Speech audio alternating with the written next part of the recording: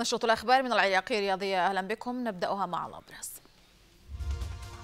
اليوم منتخبنا الأولمبي يواجه أوزبكستان في ربع نهائي كأس آسيا تحت 23 عاما. الميناء يتوج بلقب الدوري العراقي للشباب بفوزه على أمانة بغداد بركلات الترجيح.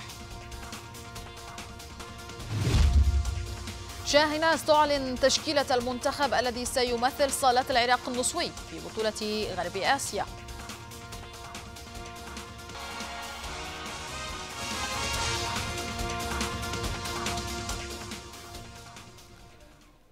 يتطلع المنتخب الأولمبي لتجاوز عقبة أوزبكستان اليوم في ربع نهائي بطولة كأس آسيا تحت 23 عاما على ملعب بختاكور. وبلغ الأولمبي دور الثمانية بعد احتلال وصافة المجموعة الثانية برصيد خمس نقاط. أما أوزبكستان تصدر المجموعة الأولى بسبع نقاط ويحاول المنتخب بلوغ نصف النهائي للمرة الثالثة في تاريخه. والإقتراب خطوة من التتويج.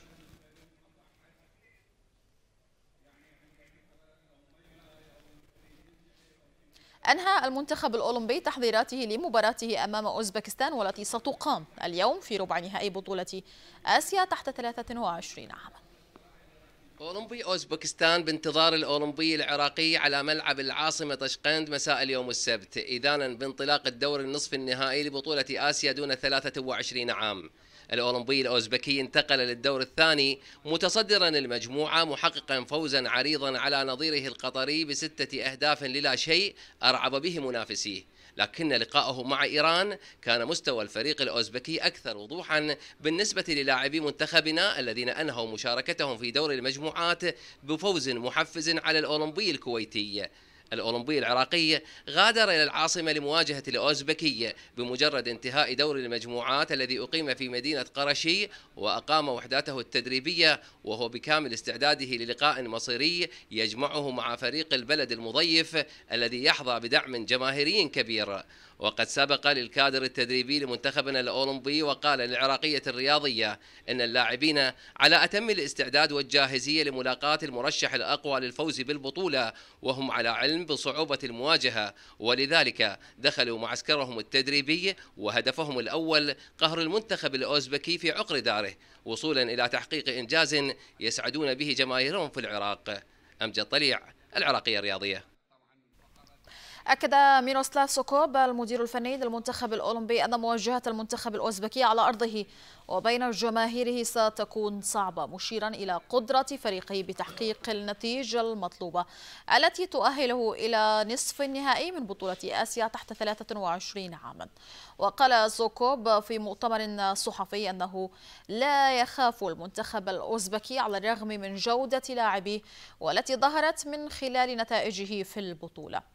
وأوضح أنه المسؤول عن خياراته في أي تشكيل يخوض المباريات. كونه في المحصلة النهائية من سيتحمل النتائج إذ كانت سلبية أم إيجابية؟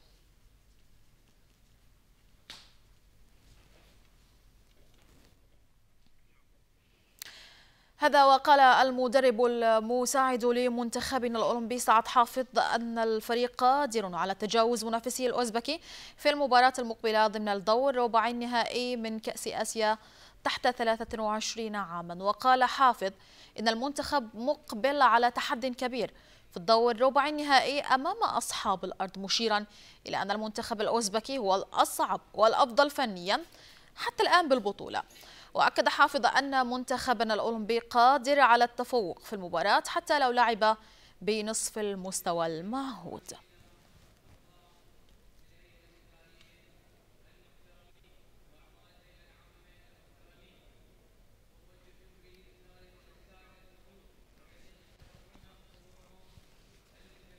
إذا عن هذه المواجهة ينضم إلينا المدرب المساعد للمنتخب الأولمبي سعد حافظ. أهلا بك كابتن سعد. كابتن سعد أنت معي مباشرة والعلاقية الرياضية ونتحدث عن تحضيرات المنتخب الأولمبي لمواجهة المنتخب الأوزبكي. كابتن سعد. تحضيرات ربما تحضيرات وتحدي كبير من فريق في مباراه اليوم على اعتبار ان تلاقي الاعظم الجماهير. تلاقي أفضل الفرق فنيا واستقرار الأوزبكي لذلك هذا يجعلنا بصراحة آه، لدينا الحافز الرغبة في مواجهة الفريق الاوزبكي وإن شاء الله الفوز على الفريق الاوزبكي. طيب قلوب الجماهير جميعها معكم لكن آه، نحن بمواجهة فريق هو الأقوى ربما في المجموعة. هل تم تشخيص نقاط نعم. آه، الخلل ربما القوة وبالتالي مواجهة المنتخب الأولمبي لهكذا مستوى؟ نعم. طبعا نحترم كل آه، مشاعر الجماهير ونحن بصراحة إذا ما إن شاء الله فزنا اليوم فأكيد أكيد للجماهير الدور الكبير دعم الجماهير له الدور الكبير لنا معنويا بأقل تقدير. آه، فرق المباريات عندما تكون في الدور الأول تختلف عن الدور الثاني. هذا الدور هو دور الأخطاء لا يوجد آه، إلا فائز. الخاسر آه، يودع البطولة. لذلك تختلف كل المعطيات.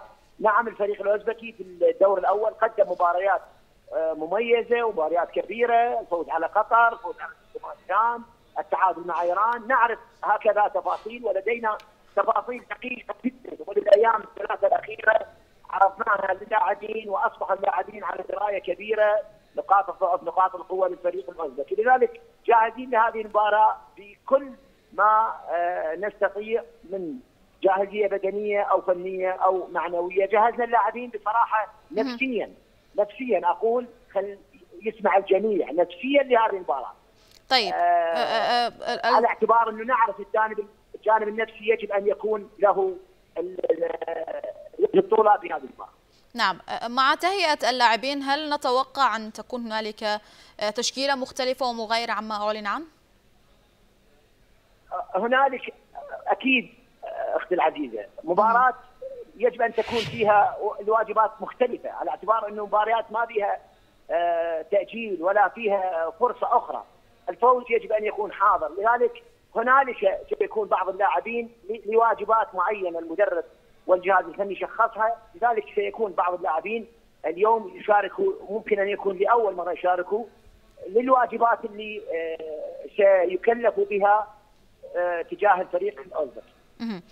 طيب آه، نحن نعلم أن عامل الأرض والجمهور واليوم آه، مع أوزبكستان والفريق الأوزبكي وعلى أرضه كيف ممكن أن تؤثر على لاعبينا؟ وأنت ذكرت مع الدعم الجماهيري آه، العراقي للمنتخب.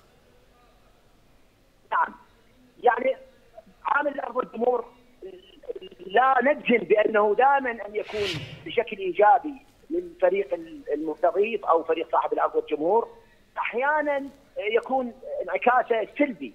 هذا أنا أعتقد آه، يعتمد على ثقافة لاعبينا. نعم لاعبينا لا يمتلكوا هذه الخبرة أمام هكذا جماهير. معظم لاعبينا من لاعبي الشباب ولكن واجبنا كجهاز فني حاولنا بكل طريقة أن نجهز الفريق لهكذا سيناريو لهكذا حضور جماهيري آه، سيضغط على لاعبينا. ولكن إن شاء الله بعون الله نتمنى أن تكون جماهير ضاغطة على الفريق الازبكي وليس على فريق نعم. المدرب المساعد للمنتخب الأولمبي الكابتن سعد حافظ شكرا جزيلا لانضمامك إلينا.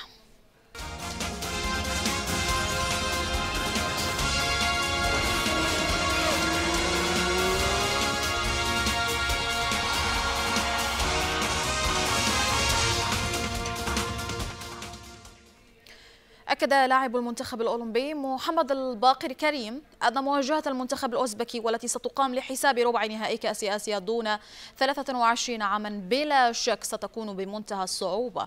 وقال كريم لقاء البلد المضيف في أرضه وبين جماهيره سيكون صعبا لكنه لا يدخل في حيز الاستحالة. لا سيما أن جميع اللاعبين يعون تماما أهمية تحقيق الفوز والعبور للدور المقبل. بالنسبة له وللجماهير العراقية.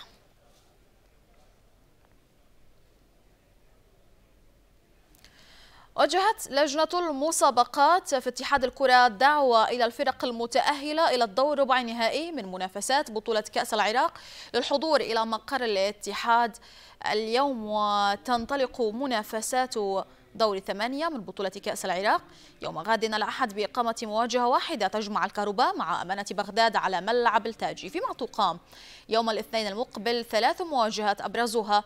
مباراة القوة الجوية والزوراء.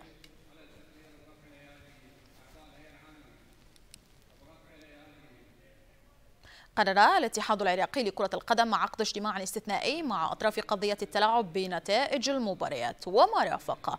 لقاء النجف والكرخ في الجولة الرابعة والثلاثين من تداعيات وتبادل الاتهامات بشكل علني وتأثيرها على سمعة الدوري الممتاز. وينوي الاتحاد عقد الاجتماع يوم الثالث عشر من حزيران الجاري بحضور مدرب الكرخ أحمد عبد الجبار ومدرب النجف حسن أحمد. إلى جانب مدرب حراس مرمى الكرخ عبد الكريم ناعم. وعضو الجهاز الفني للنجف بهاء كاظم وكان حسن أحمد المدير الفني للنجف قد أطلق اتهامات علنية ضد رئيس نادي الكرخ شرار حيدر لمطالبته بالتلاعب في نتيجة المباراة للهروب من شبح الهبوط على حد قوله. ورد الكرخ في بيان رسمي استنكر فيه تصريحات مدرب النجف إلى جانب تسليمه لجنة الانضباط في اتحاد الكرة ملف تصريحات مدعومة ببصمات صوتية من ذات المدرب.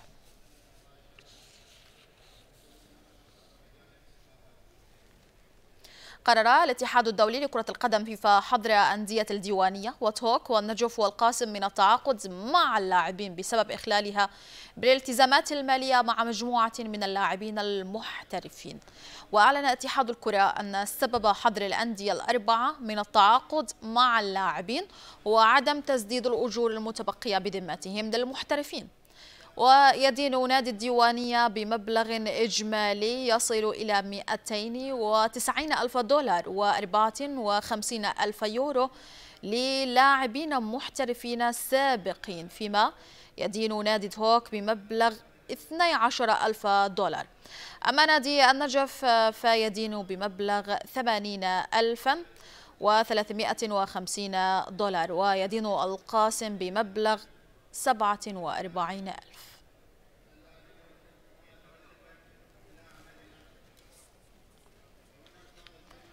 كلف الاتحاد الآسيوي لكرة القدم حكمين عراقيين لقيادة مباراتنا ب... أو لمباراة تصفيات آسيا وسيقود الحكم الدولي العراقي يوسف سعيد مباراة منتخبي كمبوديا وهونغ كونغ والتي تقام في الهند ضمن تصفيات كأس آسيا للمنتخبات الوطنية 2023 يساعده الحكم الدولي العراقي أحمد صباح وجعفر أحمد مساعدا ثانيا من المالديف وأحمد فيصل حكما رابعا من الأردن.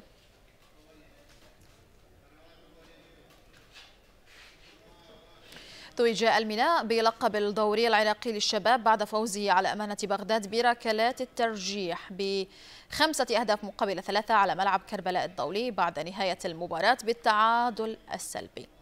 وتأثر لاعبو الفريقين بسوء أرضية الملعب والتي كانت عائقا أمام بناء الهجمات لنقل الفرص الحقيقية وسط الاعتماد على الكرات الطويلة غير المجدية لتنتهي أحداث المباراة سلبية في الأداء والنتيجة.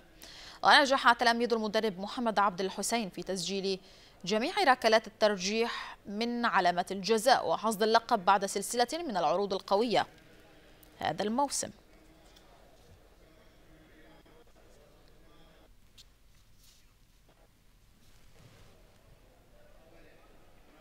أسفرت قرعة بطولة كأس العرب لكرة الصالات والتي تحتضنها السعودية للمدة من العشرين ولغاية السادس والعشرين. من حزيران الحالي. عن وقوع منتخبنا الوطني في المجموعة الثانية مع منتخبي مصر والجزائر. مدرب منتخبنا الوطني ناظم الشريعة وصف القرعة بالأصعب بتواجد المنتخب المصري والذي يعد من أقوى منتخبات قارة إفريقيا. كما أن منتخب الجزائر يمتلك لاعبين بمستوى عال مشيرا إلى أن حظوظ تأهل منتخبنا للدور الثاني ليست بالأمر السهل لكن المنتخب سيقاتل من أجل الظهور بمستوى جيد وتقديم أفضل ما لديه.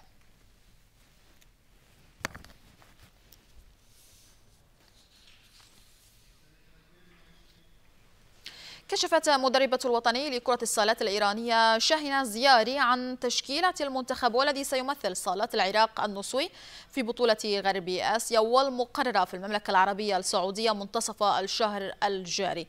وكان المنتخب العراقي النصوي لكرة الصالات اختتم مبارياته الودية في معسكره التدريبي المقام في المركز الأولمبي بمدينة طهران. بتعادل بنتيجة هدفين أمام منتخب طهران.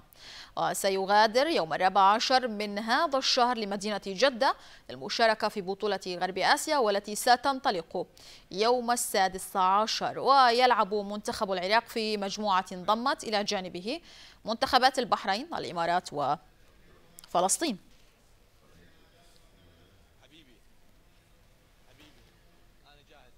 انطلقت في محافظة كربلاء تصفيات بطولة كرة الصالات لمنطقة الفرات الأوسط بمشاركة ستة أندية.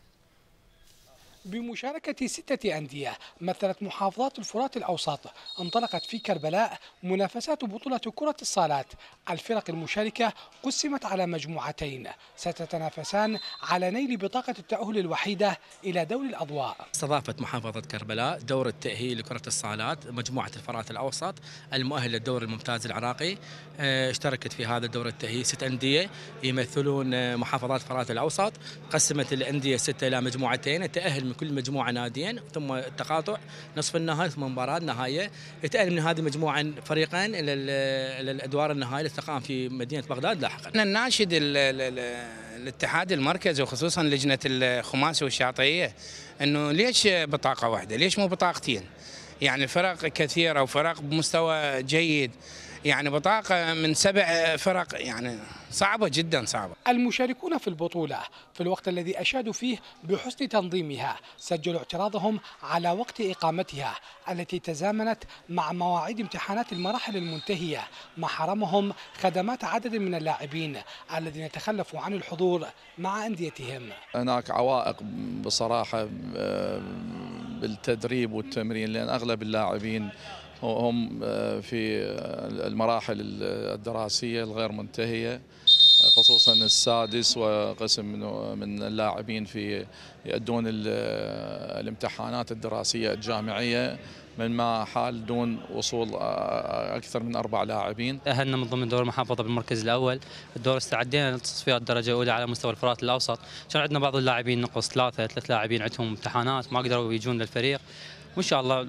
يعني تعويض بالبقية. على مدى خمسة أيام ستتنافس فرق الفرات الأوسط في مدينة كربلاء المقدسة لإحراز بطاقة التأهل الوحيدة إلى دوري الاضواء بكرة الصالات من كربلاء المقدسة حسين محمد قناة الرياضية العراقية.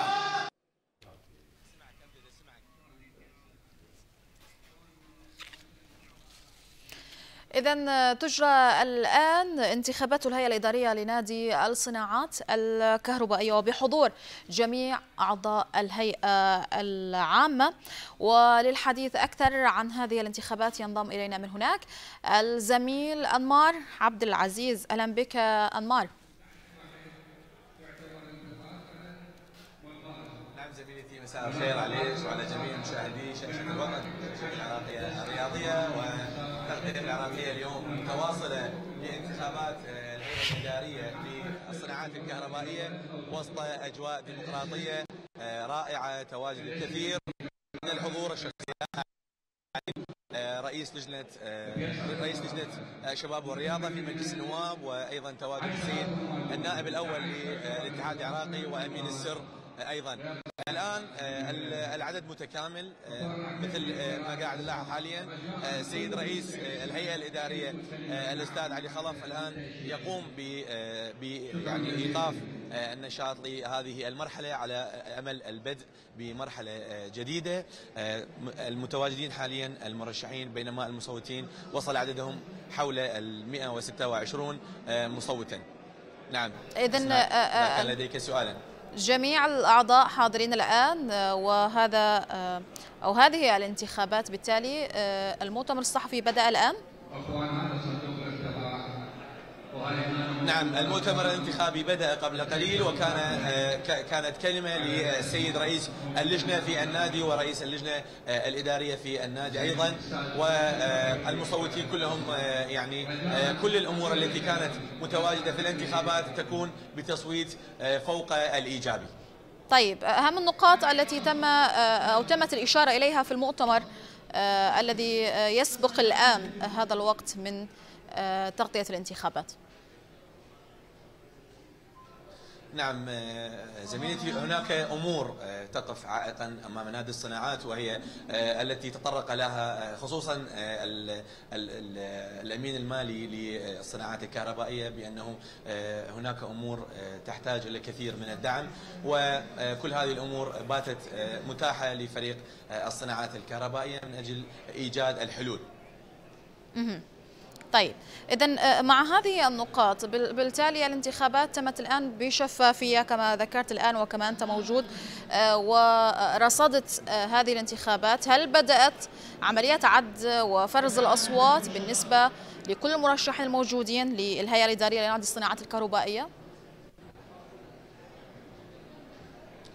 نعم زميلتي الآن سوف يبدأ العد والفرز لهذه الانتخابات ومثل ما ذكرت قبل قليل أنه السيد آه، رئيس الهيئة الإدارية قد حل الهيئة الإدارية على أمل آه، الانتخابات الجديدة. والآن كما هو موضح أمامنا تواجد صندوق وبدء وبدء الانتخابات النزيهة المتواصلة الآن وعبر شاشتنا شاشة العراقية الرياضية. آه، طيب آه، هل هنالك تواجد لأطراف قانونية ربما آه، ترافق هذه العملية الانتخابية وأيضا تراقب سير هذه العملية الانتخابية؟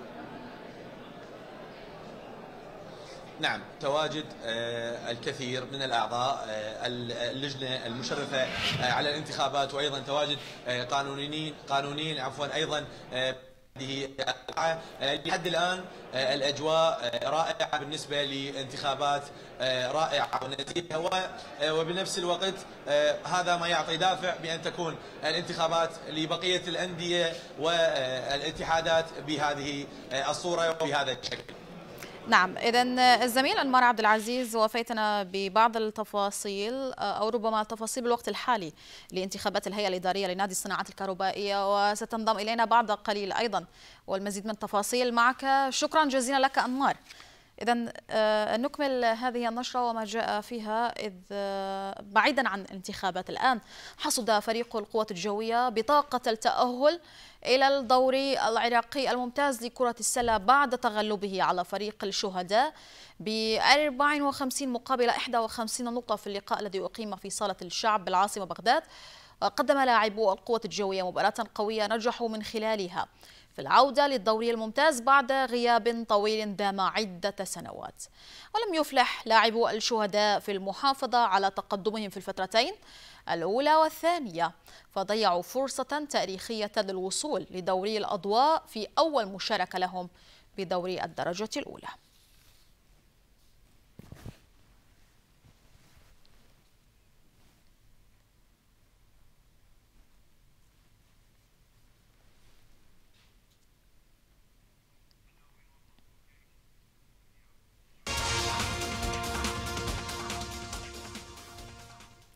للمزيد من الأخبار وإبداء الآراء والملاحظات حول نشراتنا يمكنكم متابعتنا على مواقع التواصل الاجتماعي فيسبوك يوتيوب وإنستغرام. شكرا لكل من تابعنا. إلى اللقاء.